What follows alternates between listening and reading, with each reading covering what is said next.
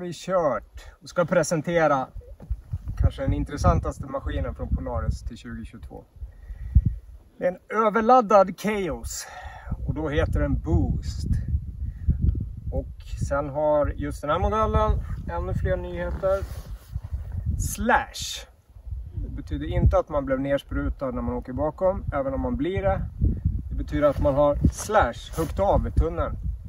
Så den är kortad kom vi fram till dryga 20 cm jämfört med Axisen. Och eh, dessutom är den avsmalnande bak för att, och väldigt förstärkt.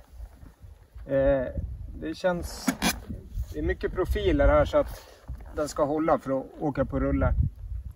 Avsmalnande för att minska motståndet till snön när man åker på rulle. Eh, just den här måste vi nästan dubbelkolla om den har kort eller lång snurra. Jag gissar på kort.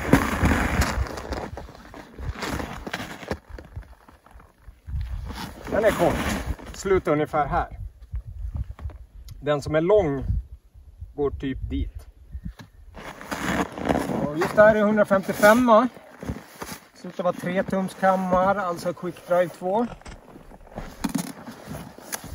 Men det mest intressanta är väl egentligen turbon och motorn.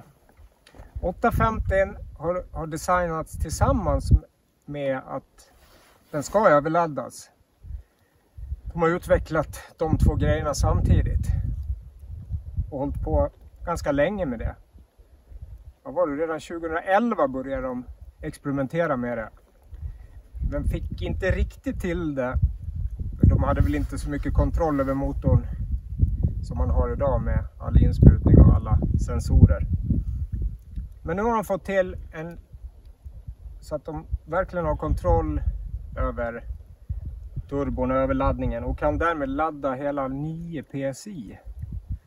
Vad är det på ren svenska? 0,6 bar kanske, vad för mig.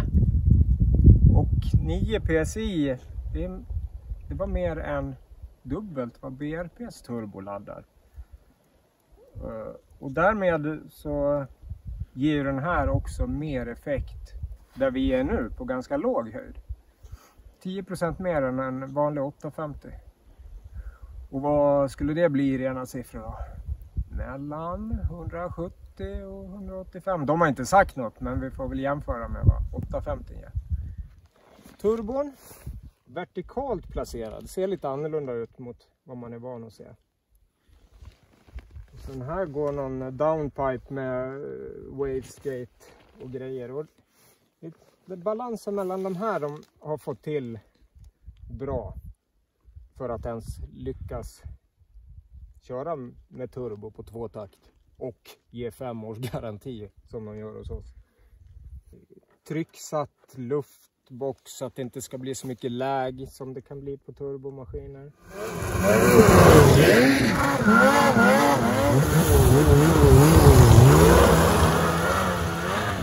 Och när Matrix kom till eh, eh på RMK, då har man smalnat av kåporna lite här på sidan. Eh, man får den här värstingdisplayen 7S, eller den finns att välja. Man kan ju bygga ihop precis vad man vill nu på om man eh, bokar innan 14 april tror jag det var. Snowcheck. Då kan man bygga ihop precis som man vill ha det med färg på tunnel, färg på rails, färg på huvud och vilka tillbehör man ska ha. Mattor.